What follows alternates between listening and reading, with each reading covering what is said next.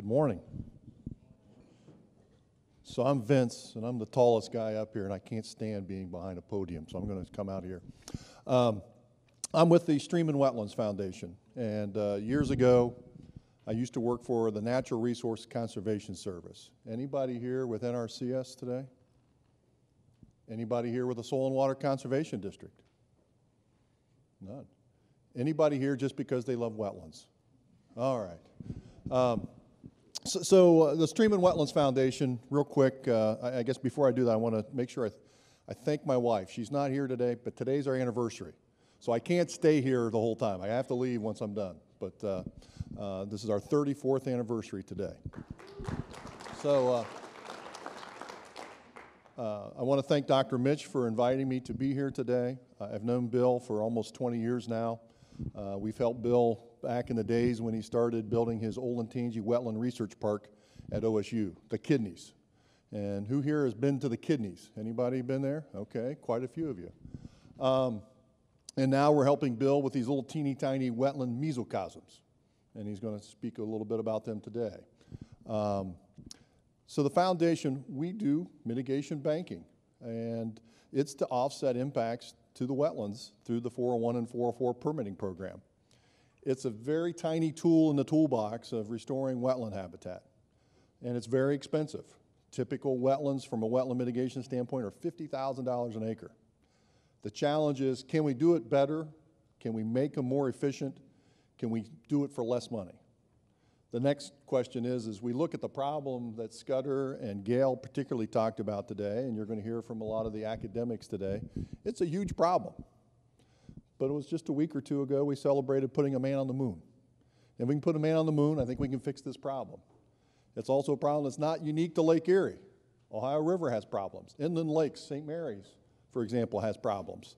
The Gulf of Mexico has problems. I watched the news last week. Who watched the news last week and saw the uh, uh, sargassum, I think is the name of the, the vegetation. They have all these problems with now in the Atlantic. And this vegetation plume starts off the coast of Africa and ends up in Mexico and Cancun.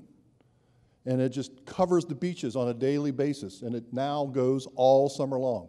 They used to only have this problem for a few weeks out of the year. Now it's all summer. So these are huge problems. And, and Lake Erie is just kind of a pimple on a hog's hind end. So, how do we figure it out? Um, you know, I, I, years ago, uh, Gail, we were participants in a Western Lake Erie Basin uh, consortium. It was all these different federal and state agencies trying to figure out the problem. For years, when I worked with NRCS, we were trying to reduce phosphorus. And we had all these conservation tillage systems, and we thought we whipped it. By mid 1990s, we met our phosphorus goals. Here we are in 2019, and we still have the same dash darn problem. And so, how do we get to there? Uh, 15, 20 years ago, somebody asked me, I'm, I'm a wetlands guy. Uh, they asked me the question, how do we fix this problem? And I said, I think we need one acre of wetland for every 20 acres. And if we applied that math, and it was just a wild ass guess, I'm sorry, but it was just on the back of a napkin looking at the engineering side of it. I'm an engineer. And so if we applied that, we need 150,000 to 200,000 acres of wetlands in the Black Swamp, the former Black Swamp, to try to address the problem. And, it's a huge scale. And if we look at the money, it would take about three or four billion dollars. That sounds like a lot of money, but they just passed the federal budget, 700 billion for defense. So we only need a fraction of that, like three tenths of 1% of the, of the defense budget. So we can do it. We can put a man on the moon, and I think we can solve this problem. I'm going to turn this over to Bill, but I have one ask, and I've been asking this for a long time.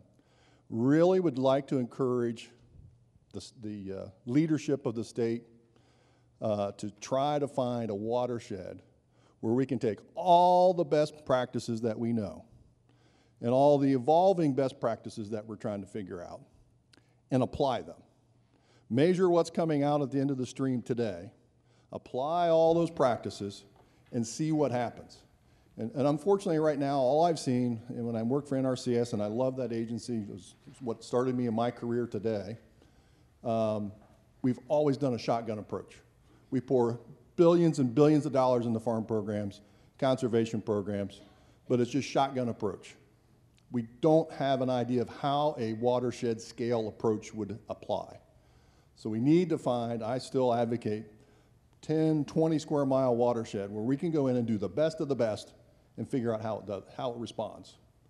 Before we start pouring more and more and more billions of dollars in a, in a continued shotgun approach. So that's my challenge. Now, we have all these smart people that are professors and academics to help, but these are complex problems and we need their help.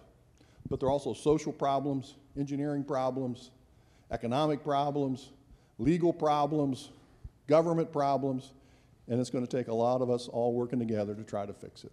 So without further ado, I'll turn the mic back over to you, Bill, and I believe we're going to have an opportunity for some questions, Yeah. correct?